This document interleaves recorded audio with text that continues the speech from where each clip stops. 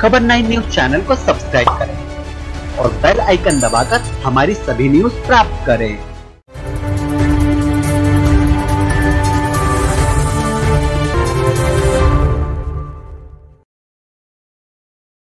नमस्कार, आप देख रहे हैं खबर नाइन और मैं हूँ आपके साथ प्रीति शर्मा। वैसे तो महू शहर आठ वार्डो में विभाजित है। पिछले दिनों देश की बासठ केंट बोर्ड में स्वच्छता में महू का सातवां नंबर स्वच्छता में आया।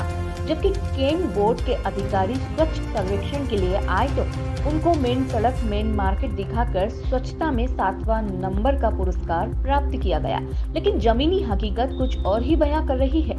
महू केंट क्षेत्र के विभिन्न वार्डो में गंदगी का साम्राज्य है। महू शहर में छोटी से छोटी सकरी गलियों में जिधर देखो, उधर आवारा पशु घूमते हुए नज़र आते हैं। पता नहीं केन बोर्ड की कब आँखें खुलेगी और इन आवारा पशु एवं श्वानों से शहर वासियों को निजात मिलेगी कब। जब बोर्ड के जिम्मेदार अधिकारियों से जानकारी ली जाती है तो वो अपने कर्तव्यों से पल्ला झाड़ते हुए नज़र आते हैं।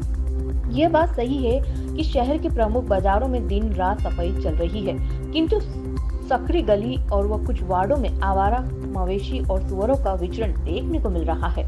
बहरहाल जिसकी वजह से गंदगी का साम्राज्य बना हुआ है, इस मुद्दे पर जब केन बोर्ड की पूर्व उपाध्यक्ष एवं वर्तमान पार्षद रचना विजयवर्गीय से सवाल पूछो तो उन्होंने कहा कि हमने आवारा, मवेशी और सुअर एवं आवारा कुत्तों पर प्रतिबंध को लेकर बोर्ड बैठक में आवाज़ उठाई। तो अधिकारियों ने कहा कि ये काम छावनी परिषद का नहीं है, एसडीएम का रहता है। विजय वर्गीय ने आगे ये भी कहा कि इस संबंध में हमारा प्रतिनिधि मंडल एसडीएम से मिलने पहुँचा तो एसडीएम ने स्पष्ट कहा कि यह काम हमारे विभाग का नहीं है। केन बोर्ड के संज्ञान में लाना चाहिए, जबकि वास्तविकता यह काम वो केन बोर्ड का है। देखिए, ये बात सही है कि कैन बोर्ड ये कह रहा है कि हम 2021 में नंबर वन आएँगे। नंबर वन आने के लिए बहुत सारी सुविधाएँ जनता के बीच में पहले कैन बोर्ड को उपलब्ध कराना पड़ेगी। जिसके लिए उन्हें एक तो अंडर डेनेस प्लान जो हमारा कई सालों से चल रहा है शेंशन है, अंडर डेनेस प्लान, उसको पहले महू में अप्लाई करना पड़ेगा। अंडर डेनेस अगर होगा तो जो नालियाँ बंद हैं, जो चौक हो जाती हैं, कहीं किसी जगह रुक जाती हैं तो वो खुलेंगी तो ऑटोमेटिक सफ़ाई होने लगेगी। और उसके बाद जो छोटी गाड़ियाँ होना चाहिए।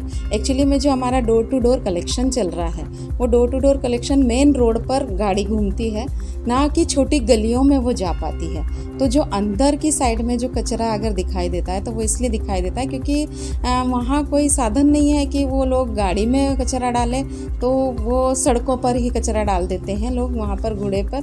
तो कैंट बोर्ड को सबसे पहले ये करना पड़ेगा कि छोटी जो हाथ गाड़ियाँ हैं या छोटी ऐसी गाड़ियाँ उपलब्ध कराना पड़ेगी जो गली के अंदर जाके डोर टू डोर कलेक्शन ले सके। तो उससे भी सफ़ाई में काफ़ी मदद मिलेगी। और पैसा तो हमारा बहुत खर्च होता है सफ़ाई पे, लेकिन हमें भी पता है कि बहुत सारी जगह कचरा उठाया नहीं जाता क्योंकि वो ही प्रॉब्लम है कि गलियाँ छोटी है और गाड़ियाँ बड़ी है। तो जो हमारी लेबर होती है वो भी मेन रोड से कचरा उठा लेती है और अंदर जा नहीं पाती है। तो सबसे पहला अगर सफ़ाई में अगर स्वच्छता में नंबर वन आना है महू को तो छोटी गलियों के लिए छोटी गाड़ियों को उपलब्ध कराना होगा।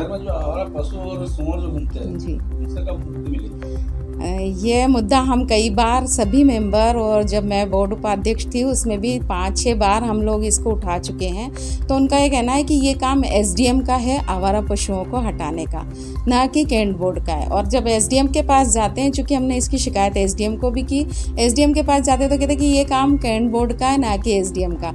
अब जनप्रतिनिधि इन दोनों में उलझ के रह गए हैं, लेकिन मैंने उसके बाद भी एक लेटर दिया है कि आप तीनों की एक कंबाइंड बैठक करिए, एसडीएम की करिए करिए जनप्रतिनिधियों की करिए और कैंट बोर्ड के अधिकारियों की करिए और इसका सोल्यूशन निकालिए हो। सके तो इसमें स्टेशन कमांडर को भी बुलाइए ताकि इसका सोल्यूशन निकले, क्योंकि हमेशा एक दूसरे पे आरोप प्रत्यारोप करने से शहर को इन जानवरों से मुक्ति नहीं मिलेगी।